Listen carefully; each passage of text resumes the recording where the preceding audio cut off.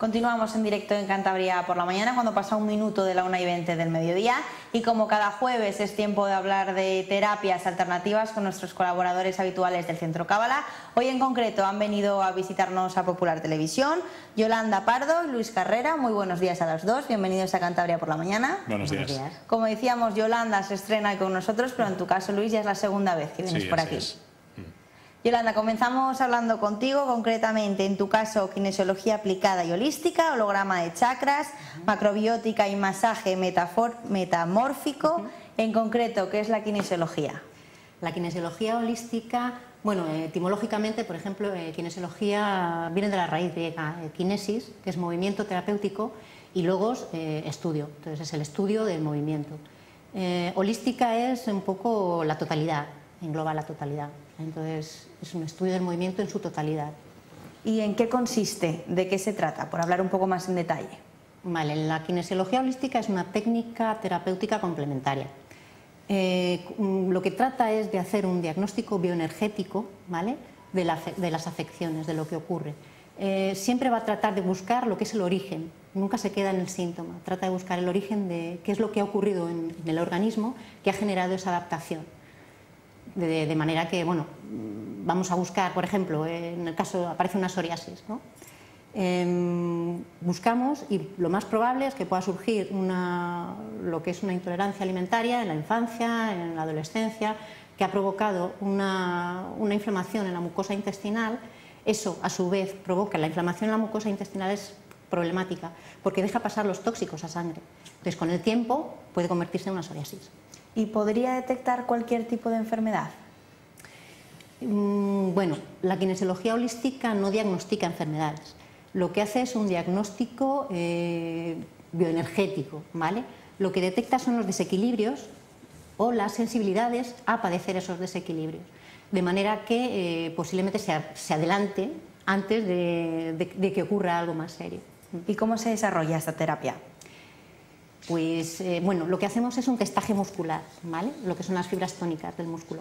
Estas fibras son muy sensibles al estrés, de manera que en cuanto el, eh, a través de testajes, tubitos de ensayo y demás que, ponemos sobre el cuerpo, enseguida van a detectar si esa sustancia o no va a crear un estrés en el organismo. Es, es bastante sencillo el, proceso. A mí me gusta de todos modos decir que lo que se establece es un diálogo, ¿de acuerdo? Un diálogo entre, entre el cuerpo. Eh, me apasiona por eso, porque realmente estás hablando con el cuerpo, no estás hablando, estás hablando de una forma además total, no estás hablando de, química o de, estás hablando de emociones, estás hablando de estructura, estás hablando de, un montón de cosas. Y el cuerpo te va comentando todo eso, va diciendo. Y poniendo un ejemplo práctico, pongamos que tengo un dolor concreto, voy a, a tu consulta, ¿cuál es la metodología que seguiremos? Bueno, lo primero sería hacer un, estudio, una anamnesis de qué son las afecciones que has tenido, no solo afecciones, sino traumas, un poco todo, lo más, lo más informado posible, lo más completo posible. A partir de ahí se, hace, se lleva a cabo un protocolo. El protocolo es esencial para eliminar todo lo que sean eh, posibles eh, interferencias ¿no? dentro de lo que es ese lenguaje ese diálogo que se crea. Entonces, eh, a partir de ahí, bueno, el protocolo consiste o comienza con, con con un testaje postural. La postura siempre puede, tener un, puede crear un estrés. O sea, o vienes, por ejemplo, te has tomado un café y ese café te crea un estrés determinado en hígado o en estómago. Entonces, eso es lo primero que hay que eliminar. Y a partir de ahí ya, una vez que se ha, se ha testado ese- esa postura y esos primeros eh, digamos, adaptaciones que hace el cuerpo a, a sustancias o a momentos que le han, que le han sido estresantes, ¿no? Se, se- se desarrolla lo que es el testaje en sí, en camilla y bueno, con fotoconector, con, metemos eh, cuántica, algo de cuántica. Y ahora en concreto, en, pa- en plató sí que podemos hacer un ejemplo práctico. Ujú. ¿Qué tengo que hacer? Estoy a tus órdenes. Pues mira, te pones aquí de pie, lo suyo, bueno, en bueno, principio el dejo por aquí es- esto. A ver, espera que yo no tire nada. Porque claro, como saben todos los de casa, tenemos muchos cables. Y entonces, pues, ¿me siento? No, te vas a Me quedar quedo de de pie, pie, ¿vale? vale, me te voy a castigar estando de pie. Venga. Entonces, eh, vas a mirar hacia allá. ¿Hacia allá? Sí, sí. Así me entonces, giro. Sí. Juntas un poquito los pies. No sé si verá esto en la cámara. algo malo, Así. Yolanda, y me lo vas a decir. no.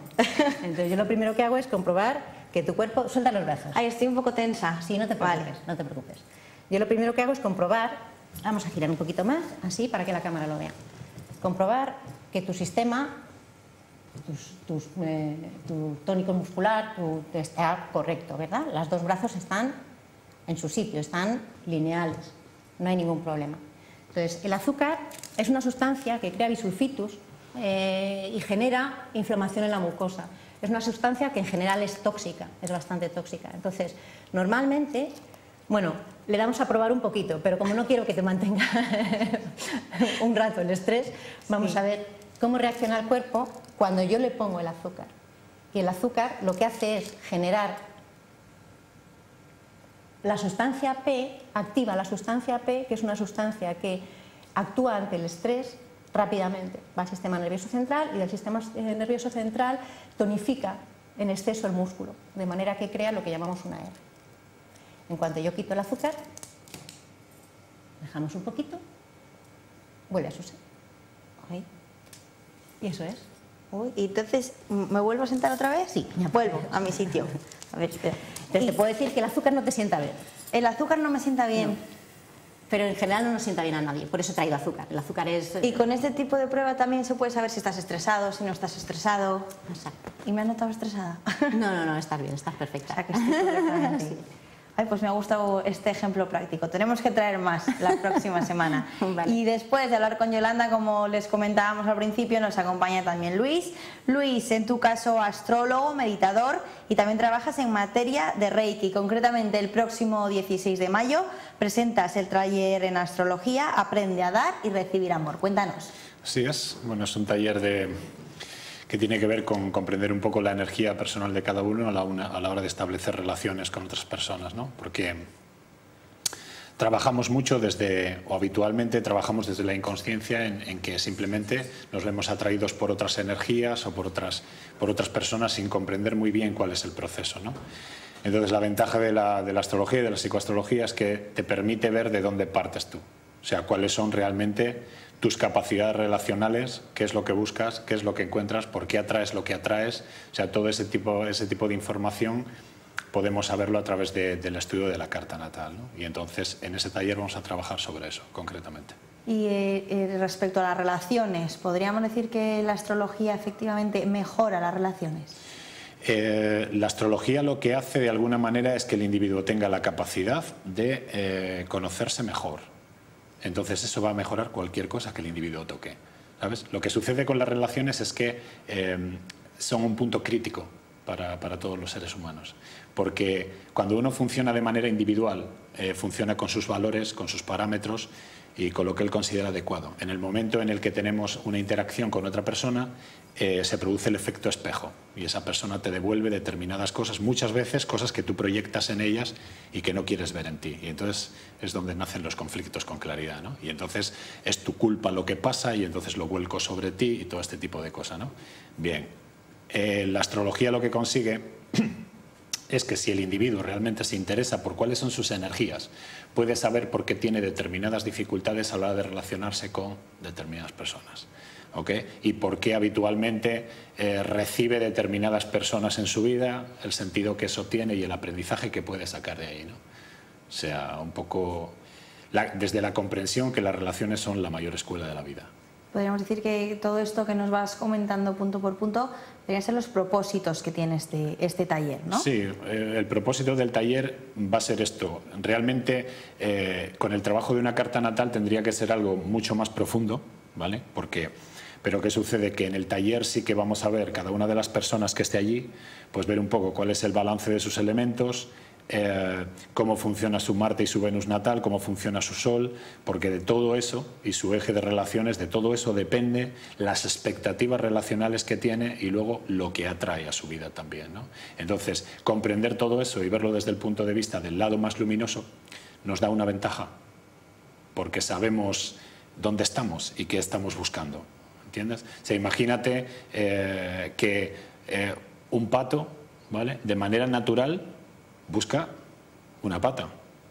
No le da por enamorarse o ir a por un águila. ¿Por qué? Porque energéticamente no son compatibles. El pato lo sabe perfectamente, no se complica la vida. En, nuestro caso como seres humanos es más complicado, bastante más que eso. Pero se trata un poquito de esto, es energéticamente, si lo tuyo son las patitas, son las patitas, ¿sabes? No vayas a por el águila porque, porque no, es, no, no hay compatibilidad a ese nivel, ¿sabes? Como no tenemos datos realmente, pues funcionamos de manera instintiva y es perfecto pero no estamos habitualmente lo suficientemente despiertos y lo suficientemente conscientes para darnos cuenta. Entonces, la astrología, como otros métodos, es una herramienta más que te puede ayudar a funcionar. ¿Y si necesita algún conocimiento eh, previo o específico para acudir a este taller? No, en absoluto, porque lo que vamos a hacer es partir de cero. El taller, además, lo que sucede es que lo hemos limitado a 12 personas exclusivamente, porque esa es la manera en la que vamos a poder mirar el tema personal de todos los que estén allí. Las personas cuando se apuntan van a darnos los datos natales, entonces yo voy a elaborar el gráfico de la carta que les daré y yo habré mirado un poco el gráfico de la carta para, para por la mañana básicamente daremos la teoría de las cosas que vamos a mirar y luego por la tarde miraremos el tema personal de cada uno de ellos según lo que, según lo que está pasando, de manera que puedan llevarse realmente datos, decir, bien, vale, mi Venus funciona de esta manera y por eso me gusta dar y recibir amor de esta manera, ¿vale? En ese aspecto mi enfoque sexual es de esta manera porque mi Marte funciona así y, ¿sabes? Entonces, esa es, la información que van a llevarse. Son los conocimientos prácticos, podríamos decir. Absolutamente. Y para inscribirse a, este taller, ¿qué hay que hacer, Luis? Contactar con Centro Cábala, o sea, llamar directamente a Centro Cábala y dar los datos natales, lo más exactos que se pueda, la hora natal es importante, y, y luego tener interés en mejorar y mejorar como ser humano y poder mejorar en el ámbito de las relaciones. Recordamos a todos los espectadores de casa que el centro Cábala se encuentra en la calle Amos de Escalante número 4, quinto E. Les vamos a decir también el número de teléfono por si prefieren hacer una llamada. 942 07 4518 Luis y Yolanda, muchísimas gracias por haber estado en Cantabria por la mañana y esperamos teneros muy pronto de nuevo por aquí. Muchas gracias a ti, hasta otra ocasión. A, todos ustedes, nos vamos a unos minutos de pausa y a la vuelta les estaremos esperando con el candidato a la alcaldía por parte del Partido Socialista, Pedro Casares.